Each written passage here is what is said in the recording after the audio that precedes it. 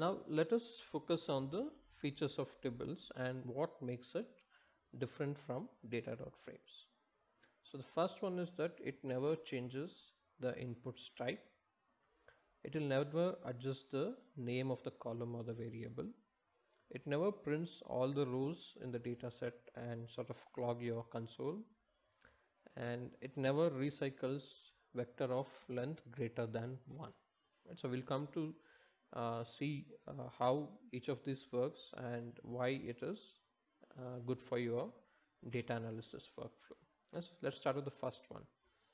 It never changes inputs type, right? So for example, when you create a data.frame, the character data is actually converted into factor, right? So here you see we create a data frame with the same data that we created the tibble right? So the alphabets here have been treated as factor. You can see here. Create the same data set using the data frame function. And when you look at the data types x has been converted to factor with 2611 now if you see the output from tibble it doesn't convert the x column into data type factor right? It remains as character right? That is what we saw here also right is character. Now if you change this and if you recreate this with data dot frame then what you'll see will be different right? Let's say we create a data set df and then you look at the structure of this data right so here you can see x has been converted into data type factor with 26 levels.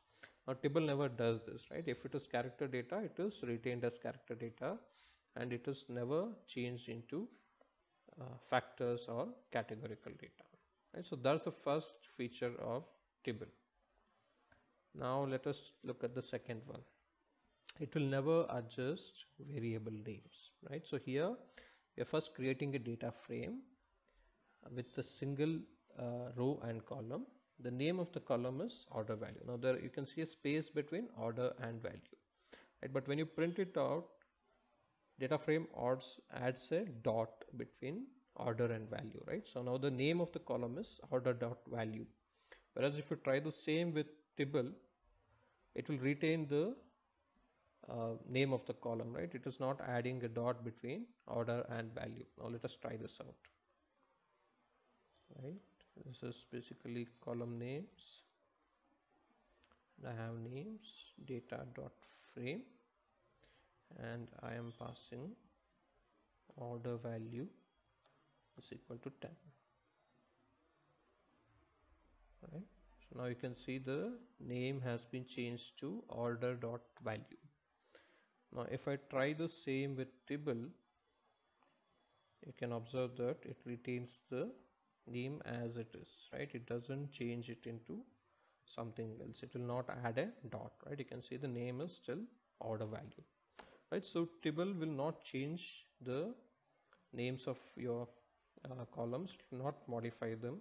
It will retain them as they are